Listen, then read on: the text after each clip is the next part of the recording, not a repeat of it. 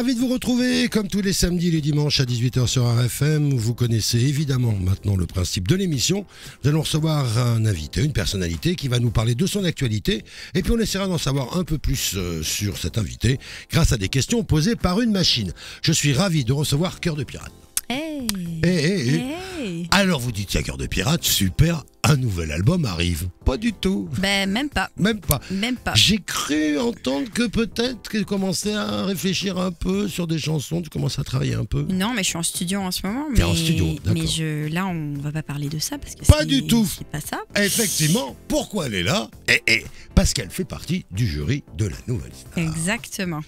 Alors, la Nouvelle Star, ça a démarré mercredi. Et euh, donc, c'est parti pour. une- C'est une dizaine d'émissions, hein, au moins, c'est ça? Je j'ai 10, pas le 12, hein. chiffre. Enfin, il y a- il y en a beaucoup. hein. Bah, il y en a beaucoup. Il y en a beaucoup. exactement, C'est- ouais. Ça va nous amener un peu plus qu'à Noël. C'est sur M6. Attention, c'est sur M6. Parce qu'avant, c'était sur, sur euh, D8. Ouais. Et maintenant, c'est revient sur M6. Ouais.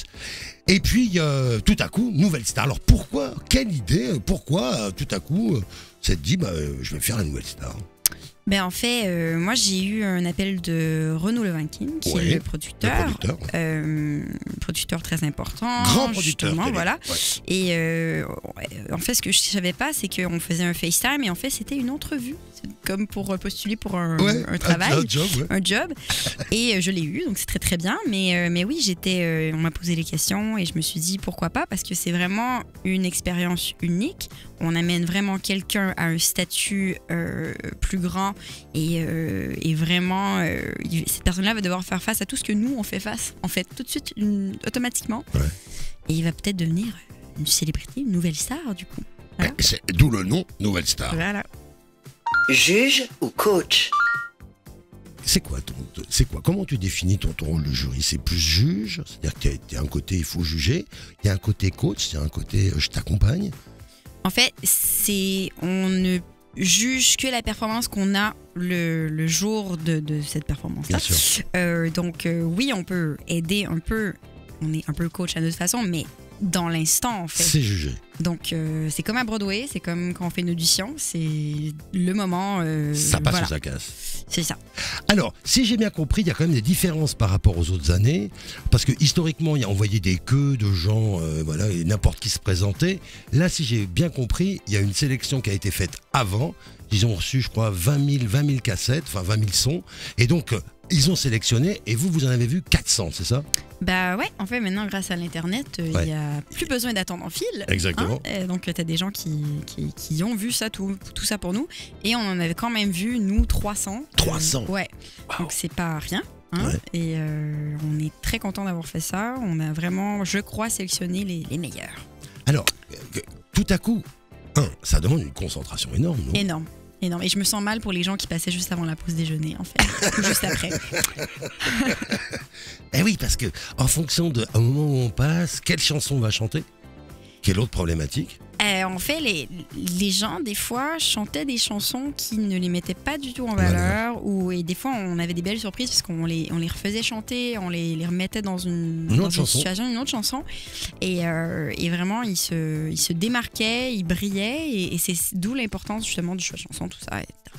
Euh, mais mais c'est vraiment toute une expérience. Et là, c'est là qu'on va vraiment voir qui se démarque vraiment. Que- euh, Et on reçoit Cœur de Pirate, évidemment, on vient de l'écouter. Euh, comme des enfants, l'âge des, des candidats, c'est plutôt jeune. hein. C'est plutôt jeune. Euh, moi, j'ai envie de dire euh, qu'on en a pas mal qui sont étudiants encore. Et D'accord. Ouais, ouais, c'est vraiment. Moi, je me vois même dans les candidats qui passent devant nous par moment, parce que des fois, il y en a qui ont 19 ans, 18, 19, et c'est vraiment l'âge auquel j'ai commencé. Euh, donc, je- vraiment, je me, je me suis. c'est dur de pas se projeter dans le candidat. Ouais. Oui. Mais oui, parce que évidemment, t'as pas 70 ans, donc euh, tout à coup, c'est vrai que c'était il y a pas si longtemps, quoi. bah non, c'est ça. Bah Non, c'est il y a 10 ans. Bah ouais. Voilà. Donc euh, tout à coup, bah, évidemment, ça, ça, ça renvoie, ça, ren- ça renvoie à quoi? À tes diffi- aux difficultés euh, que tu as rencontrées, en même temps à l'ex- l'excitation que tu as rencontrée quand tu as démarré? Ouais, je pense qu'il y a beaucoup d'excitation, il y a beaucoup de. Je sais pas, envie de stress, t'as envie qu'eux, ils pètent, ils pètent pas aux frettes, comme on dit au Ouais, Québec, ouais, euh, ouais. qu'ils pètent pas, perdent pas leur nerf Ouais. et tout, et qu'ils soient très, très. Je sais pas, t'as envie de mettre tous tes espoirs dans cette personne-là. Moi, j'ai beaucoup d'empathie, Uh-huh. et c'est un problème des fois, mais, euh, mais ça m'aide aussi à faire des choix, justement, à suivre mon instinct. L'Amérique ou l'Europe? Ben moi, c'est l'océan Atlantique. je suis plutôt Au-dessus, au- au-dessus. Je suis en, en Islande. Voilà, je, je suis entre les C'est deux. quoi? Tu, pa- tu passes à peu près quoi? La moitié de ton temps en Europe, la moitié de ton temps en... C'est moitié-moitié, ouais, Moitié, carrément. moitié. Et j'ai un appart à Paris, j'ai une maison à Montréal, donc je suis vraiment entre les deux. Des... D'accord, donc t'habites vraiment dans les deux Tout à endroits. fait, tout à fait. J'ai été, je suis plus dans ma valise en fait. Tu, tu te sens plus améri- tu te sens plus américaine quand t'es ici ou là-bas ou, ou tu, tu ramènes des petits bouts européens là-bas ou J'essaie. Euh, Ouais. C'est vrai que maintenant je dis sopalin. On Oui. on dit pas sopalin au Canada, mais Ah je bon? le dis maintenant. Euh, c'est très bizarre. Non, non, mais c'est sûr qu'il y a beaucoup de différences culturelles. Qui, on parle la même langue, hein, mais Oui, c'est très. euh, Il y a des grosses différences quand même, et je le sais, je m'en rends compte. Et euh, il faut que j'oublie un peu des fois le Canada euh, quand je suis ici et vice versa. D'accord. Voilà. Donc effectivement, c'est le- la même langue, mais c'est vraiment deux manières Complètement différent. de, mais même d'envisager la vie. De... Carrément. Mais Il y a même- des, les Français, quand ils arrivent au Canada, ils sont, Ils sont perdus. Ils sont perdus. Il y en a beaucoup qui rentrent aussi au bout d'un certain moment. Il y a des gens qui adorent, il y a des gens qui détestent. C'est vraiment. euh, déjà, il y a l'hiver à survivre. Ouais. C'est pas pour tout le monde. Non, enfin, euh, ça c'est vrai. Euh, en même temps, c'est- moi je le vois dans, dans- dans le, le métier de la musique. C'est vrai que c'est beaucoup plus américain, entre guillemets, au Canada. La manière de, de concevoir euh, la musique, là, euh, comment on aborde euh, son métier, etc. Ouais, ouais, d'une certaine façon. Après, je, moi, je connais pas toutes les, les ramifications Uh-huh. et tout, mais c'est vrai que oui, j'ai appris beaucoup de choses, même au niveau genre de comment on se présente en interview, comment on parle aux gens. Euh, tu sais, là, euh, de- devant Europe 1, il y a des gens qui m'attendent et qui Uh-huh. disent mon nom, alors qu'au Québec, je vais à Radio-Canada, il y a personne. Donc, euh, c'est- très, c'est des différences comme ça qu'on apprend et c'est très, c'est c'est sympa. Benjamin Biolay ou Danny Sainté? Alors, Ben là, et c'est les, les deux, parce que les deux sont dans le jury. hein. Faut- vous êtes quatre, donc il y a effectivement euh, euh, Dany Sainté, Benjamin Biolay, et puis euh, il y a une fille que vous connaissez pas, alors que nous on connaît bien parce que euh, Oui. elle fait- ça fait des années, et des années euh, qu'elle travaille euh, dans, dans l'industrie du disque. C'est Nathalie euh, Oui. Euh, donc voilà, et, euh, bon, que- qui par exemple s'occupe de tout ce qui est l'image de d'Étienne Dao, par exemple. Elle a travaillé dans, les maisons de disques pendant très longtemps. Alors, les deux garçons, ce qui est intéressant avec Benjamin Biolay d'un côté et avec Dany Sainté, c'est que ce sont deux producteurs, entre guillemets, réalisateurs, producers, comme on dit en anglais. ben, en fait, Danny, il est vraiment que producteur, alors que Benjamin, ben oui, Il produit, mais il fait les deux. Bien il sûr. chante aussi. Ouais. Euh, il écrit des chansons, tout ça. Donc, euh, non, non, c'est vraiment cool. Même moi, les conseils qu'on donne aux candidats venant de leur part, je les prends pour moi, des fois. Ah ouais oui. Ah bon? J'en ramasse, tu vois. À ce point-là C'est-à-dire? Ils sont très pédagogiques, ils disent vraiment des trucs super. Euh, je pense que les candidats ont beaucoup à apprendre euh, de, moi aussi d'une certaine façon, mais, eux et de Nathalie, moi je serais, je me trouverais bien chanceuse d'avoir euh, une équipe comme ça devant moi.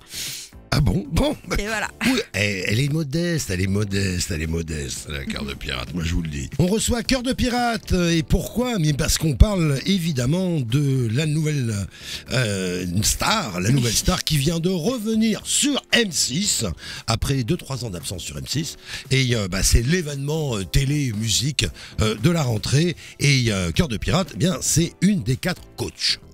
Solitaire ou chef de bande? Oh, moi je suis. euh, ça dépend. Là, je suis pas mal soli- solitaire. Je veux dire, je fais mes trucs. euh, je vais pas lider les gens euh, dans leurs choix et tout. Je suis vraiment. euh, en fait, c'est plus solidaire que solitaire. D'accord pense que c'est ça. Donc, je suis là vraiment avec eux et on, s'écoute beaucoup. Après, dans mon métier, oui, je suis plus chef de bande parce que je suis toute seule. Donc, il n'y a que moi à, à bosser. Donc, Ouais. voilà. Et mais, mais tu aimes être entouré, être quelqu'un qui est un peu le leader de l'équipe ou, ou tu es plutôt quelqu'un de, de réservé, plutôt de, dans ton coin Je suis dans mon coin. Ouais. Mais encore une fois, je suis toute seule dans ma bande de cœur de Oh, pirate. Donc, bah euh, oui, bah voilà. oui, Je. Il n'y a pas de cœur, il n'y a pas de deux, il n'y a pas de pirate, c'est elle toute seule. Choix rationnel ou choix irrationnel? Moi, je suis Ouais. complètement irrationnelle. Mais c'est une force, non? C'est une force, c'est un danger, mais c'est une force, oui, parce que j'écoute mon cœur. C'est ce que je. En fait, c'est quoi C'est quoi Il y a, il y a un- une expression qui dit vaut mieux vivre avec euh, des regrets que des remords. Ouais. Voilà. Donc, euh, je, vis, je vis de cette façon-là. C'est bien. Ouais, c'est pas mal. Alors, de temps en temps, on se prend quelques portes, hein, mais, euh, mais dans le fond, c'est plutôt, c'est plutôt mieux, non? Et voilà. Alors, en tant que, en tant que juré de, de Nouvelle Star, c'est la même chose. C'est-à-dire que ça, la personne passe, chante, et c'est irrationnel. C'est complètement irrationnel. C'est important d'écouter ce que notre voix intérieure nous dit quand on voit quelqu'un. Et, euh, et je pense que c'est ça qui fait, euh, en tout cas, ma force dans. euh, après, les autres, ils ont leur façon de voir les choses. Mais moi, je, je- je- vraiment, ça joue sur le charisme, les émotions. Je, je suis très premier degré là-dedans. Mais oui, alors on a vu une petite vidéo qui se balade sur internet, on va pleurer. Ah, je pleurais pas juste, je chialais presque. J'étais inconsolable. Mais oui. Oui, mais, Mais, c'est- pourquoi? Pourquoi? Ben parce que c'était vraiment, il y a toute l'histoire, on va le, on, On va comprendre on va pourquoi. comprendre Ouais. pourquoi.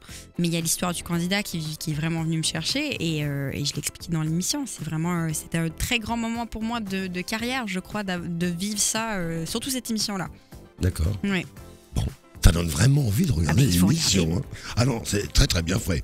C'est Cœur de Pirate, notre invité aujourd'hui. euh, Cœur de Pirate qui fait partie euh, du jury de la Nouvelle Star. C'est le grand retour de la Nouvelle Star sur M6. Tatouage ou piercing? Ben moi j'ai les deux, mais ça va être tatouage. Ouais. Alors dis donc, là, tu as mis il y a quelques temps sur les réseaux sociaux un tatouage, euh, c'est joli quand même. Oui, oui, c'est vrai que j'ai fait ça. Ben, j'ai fini mon, côté. Ton côté, oui. Mon Mais ça couvre quasiment.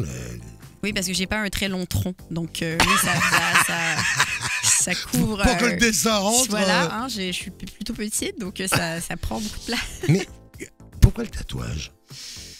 Et ben moi, j'ai, en fait, j'ai commencé à me faire tatouer parce que c'était un peu dérivé de la scène punk. Euh, moi, Ouais. j'étais pas mal là-dedans. Ouais. Et euh, je voulais appartenir à quelque chose. Donc, euh, en tant qu'adolescente, Tu voulais faire partie d'une bande. Oui, Ouais, c'est ça. Je pense que c'est très important. On a envie d'appartenir à quelque chose, un mouvement, tout ça. Et c'est resté avec moi. J'ai continué. Oui, parce que au départ, on, on peut comprendre, on en fait un parce que voilà, on fait partie de la bande. Mais au bout d'un moment, là, là, on n'est plus là-dedans. C'est quoi? C'est avoir une œuvre d'art sur soi. C'est vouloir marquer des moments fondamentaux dans ta vie. Ah bah oui, bah oui, et puis c'est complètement ça. Et puis euh, les voyages, et puis euh, oui, et puis si moi je trouve ça très méditatif le tatouage. euh, C'est ça fait mal, mais tu, tu respires. C'est un peu comme quand tu fais du yoga. Ça te permet de te concentrer, de te recentrer. C'est- un peu bizarre comme façon de, de méditer, mais moi je le, je le prends. Oui. Ouais, c'est bizarre. Comment on fait Comment c'est quoi le choix? On, choi- on choisit le tatoueur, on choisit le dessin. on- Oui, on choisit le tatoueur vraiment parce que le tatoueur. là, on admire la- le travail de l'artiste et c'est pour ça qu'on va se faire tatouer souvent. Il y a des gens qui ont d'autres raisons, moi c'est plus pour ça. D'accord. Donc tu choisis d'abord l'artiste qui va tatouer. Tout à fait. D'accord. Et euh, ensuite, c'est parti. Ben, des fois c'est carte blanche, moi des fois je, je laisse les gens. Ah ouais, euh, carrément. ouais, ouais, tu bah sais oui. pas ce qu'on va te tatouer dessus. Ah ben non, on me sort des idées. euh, c'est comme un projet, tu vois. C'est que quelqu'un qu'on pitch un projet, un project à quelqu'un. Ben moi, c'est c'est ça. Incroyable. Voiture ou vélo? Moi, je suis voiture quand même. Je déteste le vélo. T'aimes pas le vélo? Non. Mais il paraît que t'as pas ton permis de conduire. Si, je l'ai. Je l'ai maintenant. C'est pas vrai Oui. je. Félicitations. Merci. Moi, je l'ai toujours pas, donc c'est pour ça que je te dis, c'est facile, je te jure, je pas de peine de conduire. Bravo Je croyais que tu l'avais pas, tu l'as. Non, non, je l'ai, je l'ai, carrément. Ah, oui. alors Quand là, c'est- bah oui. Attention. C'est Cœur de Pirate, notre invité aujourd'hui, et évidemment, on parle de la nouvelle star, car Cœur de Pirate, euh, eh bien, elle est membre du jury de cette émission. Musique ou manga Euh, musique. Oui, alors j'ai vu que quand même, t'avais des, quand t'étais étudiante, t'as étudié le dessin et que des Non, trucs. non, non. En fait, ça, je sais pas pourquoi ça circule. Je, fou, Je ça. le dis à chaque fois, genre en entrevue. Non, j'ai pas cette passion-là. Je, Non, je dessine, mais je suis Ouais, pas. euh, t'es pas mangé manga. Bah non, bah non. Le dessin de tatouage, il y a un lien Oui, il y a un lien forcément, ça c'est sûr. Ouais. J'aime beaucoup les arts, euh, j'ai étudié là-dedans aussi, donc forcément c'est Ouais. sûr que ça, ça reste. Ça reste. hein. Rihanna ou Annie Winehouse? Oh, c'est dur, c'est long, hein. Ça, c'est dur parce que j'aime les les deux. deux. je les- J'aime les deux. Pourquoi j'aime t'aimes les deux En fait, euh, Rihanna, elle a une attitude, je l'adore parce qu'elle elle s'en fout de tout, mais vraiment, j'ai jamais vu ça. Elle a tellement une nonchalance euh, née, mais c'est une très forte businesswoman, une très forte musicienne. Elle chante comme. J'ai jamais entendu quelqu'un chanter comme ça. Ouais. Euh, Et et d'ailleurs, c'est intéressant parce que euh, elle a vraiment progressé. elle a complètement Elle- elle progressé. travaille. hein. Même au niveau de la danse et tout, ça n'a rien à voir. C'est Ouais. vraiment. Puis elle a commencé, était toute jeune. Je veux dire, moi, ça, ça, 17 ans. ça peut briser quelqu'un de commencer jeune comme ça. Et, euh, et Amy Winehouse, parce que c'est vraiment une icône et tout, c'est quelqu'un de vraiment de mythique. Donc je pense que c'est important que les gens continuent même à écouter Amy Winehouse aujourd'hui, les jeunes, tout ça. Donc euh. Amy Winehouse, c'est quelqu'un qui, qui, dans ses chansons, racontait sa vie. Y a, là, il y a un point commun un peu. Oui, il y a un toi. point commun. Et puis c'est quelqu'un qui a été très écorché par l'amour et tout. Oui. Euh, je me rappelle avoir vu le documentaire, j'étais genre sidérée parce que vraiment de- de- d'avoir autant de codépendance envers quelqu'un qui l'a complètement euh, Détruite. détruite, euh, ça m'a vraiment marqué. J'ai vu un genre de point en commun avec moi, ce que j'ai vécu euh, quand je sortie avec des mecs complètement horribles. Donc Elle ne donnera pas les noms tout de suite. je ne donnerai pas les noms, mais ils sont horribles. Et donc euh, oui, je, je pense qu'on peut tous faire un parallèle avec nos propres vies avec ça. Tout le monde a vécu une histoire comme ça. Le, on voit aussi chez Amy Winehouse là, comment la, la, la, la presse, les, les, Et ça, c'était fou aussi, c'était fou. Oui, parce qu'elle elle meurt en partie de ça, quoi. Bah oui. La pression médiatique. Ah, tu l'as déjà vécu ça? La Ah, pression médiatique moins, mais, insupportable. euh, Moins, moins, vachement moins. Ouais. Mais c'est sûr que les- la, la presse, en fait, c'est- con, hein, parce que c'est comme tout le monde essaie de faire son métier, hein, mais je pense que, surtout aujourd'hui, avec le clickbait et euh, les, les, les réseaux sociaux, les médias essaient d'utiliser des phrases clés qui sont complètement prises hors contexte. Et les gens cliquent là-dessus pour avoir plus de clics. Bon, la, la pub et tout, euh, donc c'est pour ça. Mais des fois, c'est des phrases qui sont complètement prises hors contexte. Et c'est c'est pas super juste pour les gens qui ont donné l'entrevue et qui veulent parler de choses importantes. Et voilà. Depuis le 1er novembre, elle fait partie euh, du jury de la Nouvelle Star, car c'est depuis le 1er novembre que la Nouvelle Star a redémarré sur M6 et euh, avec euh, Benjamin Biolay, euh, avec alors s'il faut en parler, euh, parce qu'elle fait pas, lui, elle fait pas partie du jury, mais il y a Shaim aussi. Ben oui. Eh ouais, alors Shaim qui est, qui est l'animatrice. Et qui est très bonne en plus, qui fait ça super Ouais. bien. J'ai jamais vu ça. euh, je pense que les gens avaient peut-être des réserves parce que bon, c'est ça, c'est une chanteuse qui fait de l'animation. Ouais. Mais elle a tellement l'habitude de faire de la télé et tout, elle a vraiment ça en elle. Elle fait ça de façon magnifique. C'est quelque chose qui t'amuserait ça? Oh, peut-être un jour, mais là, je sais pas le. Non. Je sais pas. Pas le truc. Bon. Le travail ou le talent? Les deux.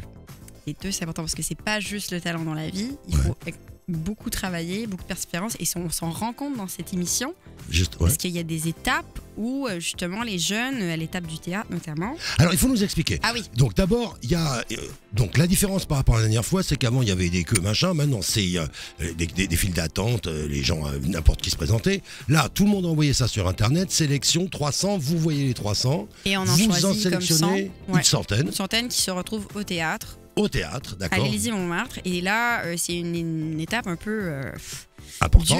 ouais. et importante où vraiment là, il faut qu'on en élimine beaucoup et il n'y en reste que 15. Alors si j'ai bien compris, à ce moment-là, euh, un, des, euh, un des points, c'est que vous, vous, les, le- vous les obligez à chanter une chanson, ils n'ont pas le choix, c'est celle-là. C'est une chanson et c'est une minute. Et après ça, on en fait d'autres sélections. Ils doivent chanter une autre chanson où ils n'ont pas le choix. Et après ça, ils font une épreuve en trio un, petit- un petit peu. Donc là, on voit vraiment l'effort. Sauf que c'est trois jours de suite. Et même nous, on chante pas trois jours de suite, même Non. en concert, tu vois. Donc, c'est- ils n'ont pas encore l'habitude de, de se préserver. Et il y en a qui se retrouvent très fatigués, qui n'ont jamais fait ça, qui sont pas habitués. Ils voient les chansons, mais ils, ils oublient les paroles et tout. Donc euh, c'est très dur. C'est un moment très très dur, euh, même pour nous, parce qu'il y a des gens qu'on aime beaucoup qui se plantent complètement. Et, euh, et ça ne Et ça c'est quoi? C'est le fait qu'ils n'ont pas bossé assez avant? Euh, Il y en a qui n'ont pas du tout bossé. Ouais. Je me rappelle, il y en a qui on était, on était un peu sidérés. On était comme genre, pourquoi tu oublies les paroles Euh, C'est pas possible, tu vois. C'est Ouais. des chansons que tout le monde connaît. Ouais. Donc c'est assez frustrant. Ouais. Des fois, quand c'est des gens qu'on aime beaucoup, c'est frustrant. Et c'est quoi? C'est parce que ce sont des amateurs? C'est parce qu'ils ils sont pas faits pour ce métier? C'est parce qu'ils sont pas motivés?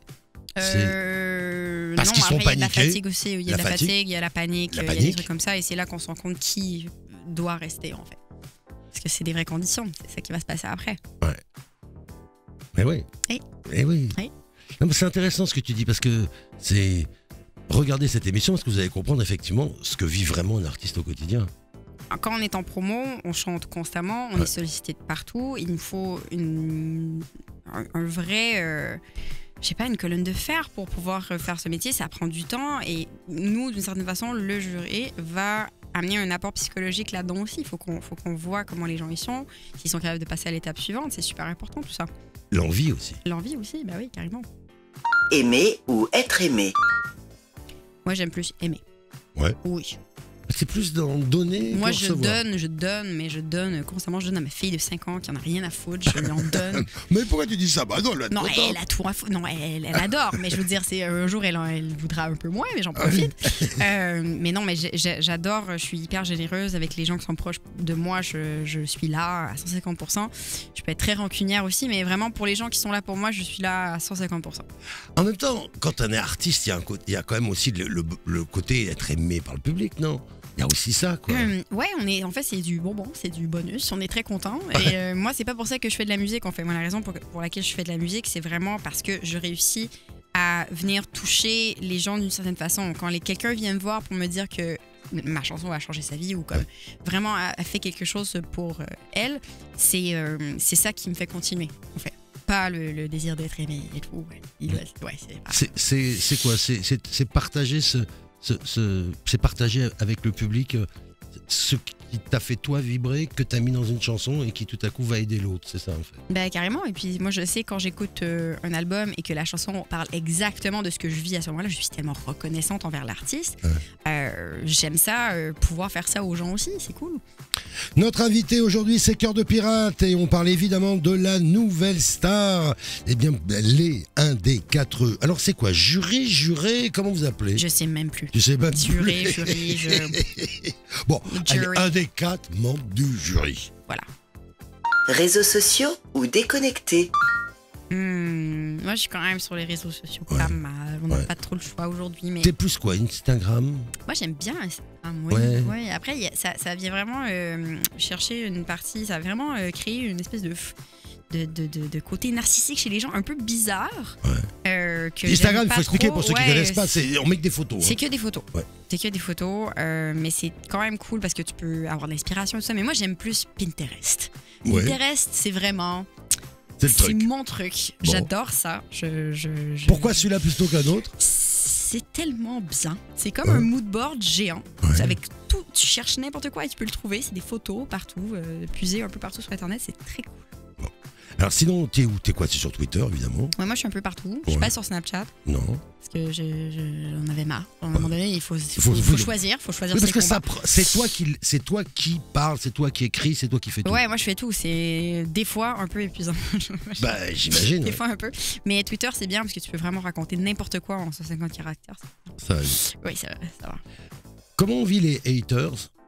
Bah, alors, on ce qu'on les appelle les haters, faut euh, expliquer, c'est tous les gens qui font des commentaires très désagréables, qui sont, qui est systématique. Ça, ça- ça- Les ça concerne trolls, on les appelle les trolls. trolls. Voilà. Ouais, ou, les, ou, les, oui, ou les haters. Enfin, les, tout à coup, les gens vont toujours euh, mettre une- un truc désagréable. C'est vrai pour toutes les personnalités. hein. Bah, en fait, on vit avec, on n'a pas trop avec. le choix. Et Mm. puis, euh, bah, des fois, je leur réponds parce que je trouve ça drôle. Ouais. Comme, euh, tu sais, genre, mais t'es encore là, toi Je suis comme, oui, je disparaîtrai jamais, je serai toujours là. Je suis encore là. Oui, j'adore. Et puis, il y a des fois, on, on regarde pas. on Bah, on les regarde pas. Des fois, c'est juste méchant pour être méchant. Donc, euh, on, essaie de pas regarder. C'est mieux. Oui. Béatrice ou cœur de pirate? Ben là, ça dépend. Des fois, le soir, quand je fais des concerts, je suis cœur de pirate. Et puis la journée, quand je vais euh, au Monoprix chercher du beurre d'arachide, je suis Béatrice. Donc, euh, je, ça dépend. Comment on, a- on- on arrive facilement à, à vivre les deux?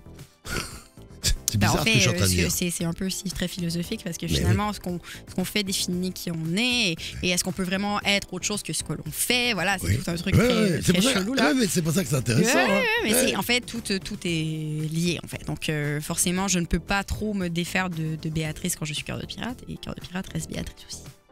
Et, et Cœur de Pirate, c'est un moyen de permettre à Béatrice de dire des choses? Pas nécessairement, je pense que je, pourrais les dire sous Béatrice. D'accord. euh, C'est vraiment Et, et Cœur de Pirate, ça protège Béatrice? Peut-être un peu, peut-être un peu, peut-être au début, moins maintenant. Ou, ou est-ce que c'est l'inverse? Aujourd'hui, Cœur de Pirate, de temps en temps, il, euh, il empêche de Béatrice d'être tranquille. Ah bah, c'est sûr que je, ça vient hein, c'est la rançon de la gloire. Ouais, mais, mais- ouais. je suis contente et puis moi, quand les gens ils sont respectueux, ça va très bien. Bon. C'est Cœur de Pirate, notre invité aujourd'hui, et on parle de la nouvelle star qui est de retour en fanfare sur M6. Le son ou le sens Oh, c'est c'est profond tout ça. Mais oui, Euh, le sens, le sens. hein. le sens, oui. C'est-à-dire Avant le son. c'est-à-dire que pour toi, le- une chanson, c'est d'abord un texte. Tout à fait. C'est la mélodie et le texte, La mais je veux mélodie, dire, euh, mais vraiment le texte c'est super important parce que et comment tu décides d'interpréter ce texte après par la suite avec le, le son justement la musique, c'est C'est ça qui fait la beauté du truc et c'est ça qui fait que la chanson est. C'est est. ça qui fait ta force. Parce que Oui. Cœur de pirate, on a l'impression que c'est des petites chansons légères comme ça. Pas du Bah tout. non, les, non, textes, non, les textes sont. C'est glauque, c'est hyper glauque. Non, c'est pas glauque. Non, mais t'as des textes qui sont magnifiques. Non, mais c'est vrai. T'as Merci. t'as une vraie Merci. plume. J'essaie, j'essaie. J'essaie d'écrire avec une plume aussi, ça Non, serait super. je- non, mais c'est vrai que tu, tu- voilà. J'aime les contrastes. y a- Ouais, mais Oui. il y a une vraie écriture. Merci. Il y a une vraie Merci. écriture. Merci. Il y a une vraie poésie. Hum, quand, quand tu as les candidats, quand ils choisissent une chanson, euh, tu interpréter, c'est aussi faire que tout à coup, le texte de la chanson qu'ils ont choisi va, va te toucher. Tout va- à fait. En fait, si on prend comme exemple quelqu'un de plus connu, qu'on a tous connu, euh, Julien Doré, qui a Ouais. pris justement une chanson qui était euh, qui Lolita, Ouais, qui était une ouais, chanson ça, plutôt bon, D'Alizé, ouais, d'Alizé, une très bonne chanson. Voilà. Et euh, il l'a vraiment transformé en truc à sa manière et qui a touché les gens. Et c'est- ça qui fait la force justement d'un grand artiste. C'est quelqu'un qui a de se ré- réapproprier, de rendre n'importe quoi un peu euh, bien. Ce que tu avais fait à l'époque avec la fameuse re- reprise de Renault, qui était magnifique. Non, mais après, ça, je l'ai fait vraiment identique. Euh, Identique. je l'ai- je l'ai réapproprié à ma façon, mais je veux dire, ça restait quand même euh, la chanson de Renaud. Ça, oui, oui, tu l'avais pas C'est déformé. pas comme quand j'ai fait I Kissed a Girl de Katy Perry. Ou où là où là, tu l'as complètement- complètement, complètement euh, voilà, de- de- voilà. Oui, mais même quand tout à coup tu respectes entre guillemets la mélodie, euh, la manière dont tu l'interprètes, c'est pas la manière de Renaud. Et, et tout à coup Non, tu ça, racontes, ça, ça. tu racontes quelque chose qui est, euh, qui est tout à fait beaucoup plus euh, maternel, alors que bah, Renaud c'est beaucoup plus paternel. Donc tu, déjà tu racontes une autre histoire. Exactement. Non, mais c'est ça l'important aussi. C'est ça qui fait Ouais. la force d'un artiste et c'est ça qu'on essaie de retrouver justement dans la nouvelle star. MySpace ou Talent Show Toi, t'as démarré par MySpace. Ben oui, moi j'ai démarré par MySpace, donc c'est sûr que les réseaux sociaux c'est super pratique, mais aujourd'hui ce qu'on voit à travers l'émission et ce qui est super intéressant, c'est que les gens se mettent déjà sur les réseaux sociaux et c'est comme ça qu'ils sont découverts, ou ils sont sur YouTube, ou ils sont Mhm. sur Instagram justement, et qui font leur cover et tout. Et, euh, et la plateforme de, de, de, de show finalement, ça les aide à atteindre un autre genre de public. Peut-être le public qui n'est pas juste les jeunes. Les jeunes sont beaucoup sur l'Internet euh, aujourd'hui, mais d'avoir justement un, un pu- un public plus large. Voilà. À l'époque, c'est ta sœur qui t'avait poussé pour aller Oui. sur MySpace. Euh, tu penses que 5 ans après, 7 ans après, elle t'aurait poussé euh, à aller faire un talent de show? Bon, je sais pas, là, elle est. euh, Est-ce que, Elle est-ce est, que elle bon, est en alors, médecine, je sais ouais, pas si elle aurait le temps. non, je suis d'accord, mais est-ce que c'est est-ce que c'est quelque chose à l'époque, il n'y avait pas de talent de show? Si, il y en avait, mais jamais, jamais j'aurais fait Star Academy parce que j'avais pas la, j'avais pas la voix. Je me disais, j'ai pas la voix pour. en Ça, fait, et ça- puis tu voulais pas te renfermer 24 heures sur 24. Il y avait aussi ce côté-là dans Starac. Ben, en fait, j'y pensais même pas parce que je me suis dit, je suis pas Je- une assez bonne chanteuse. Oui, parce que c'était très, très effectivement, c'était, il fallait chanter fort. voilà. Ouais, tout à fait. Et c'est ça que j'ai trouvé cool de Nouvelle Star quand je suis arrivée en France, C'est que finalement, Il y a plein pas, de gens. c'est qu'il y a plein de gens et que c'était pas juste des chanteurs à voix. Je me Bien suis dit, waouh, j'aurais peut-être eu- pu avoir ma chance et tout. Euh, donc c'est ça qui est, qui est génial, génial. Ouais, c'est pas un concours de, de volume C'est un concours de, de gens, de gens. de gens, Ouais, voilà. ouais, ouais. pas D'univers, de. Mais c'est important. Mais hein. c'est important, puis c'est ça qu'on veut. Les gens, ils vont se retrouver là-dedans. Le, le commun du mortel va se retrouver dans la personne qu'on va choisir et c'est super important. Eh bien, c'était Cœur de Pirate, c'est déjà fini. euh, une heure avec Cœur de Pirate pour parler de l'événement. C'est la nouvelle star. Cœur de Pirate qui est membre du jury avec Benjamin Biolay, avec Danny Sainté. C'est entre autres le producteur. Il a écrit plein de choses pour euh, Maître Gims. Maître et tout, ouais. Gims. euh, Il vient de faire plein de titres pour euh, MHD. Et puis Mhm. il vient de faire des, euh, une partie de l'album. Louane. Et puis une partie de l'album de Florent Pagny. Ah, Euh, voilà, des trucs qui passent Vo- sur bah, tiens, Voilà. Cœur de Pirate. Et puis une, une pro, une pro de la profession que vous connaissez Salut, c'est moi. Et qui s'appelle euh, non non qui s'appelle Nathalie. Non, non, c'est Nathalie. Euh, Nathalie vous la connaissez pas mais euh, voilà, c'est une pro de l'image etc. Et évidemment donc cœur de pirate. Oui. Voilà. Bon bah super, Bah, on va te super. suivre, on va te suivre. Alors l'émission, à la différence des autres années, elle est à certains temps, en- elle est enregistrée à l'avance. Et il y a, je crois que c'est il y a que la finale qui est en direct, c'est ça? Ouais, mais c'est quand même dans les conditions du live, donc euh, il y a oui, des gens et tout, c'est vraiment. Mais le show, public va vraiment commencer à intervenir pour la finale. Exactement, C'est bien. c'est génial. Eh ben écoute, on va être, euh, ben, c'est tous les mercredis donc euh, à Ouais. 20h, à 20h, à 21h. C'est M6.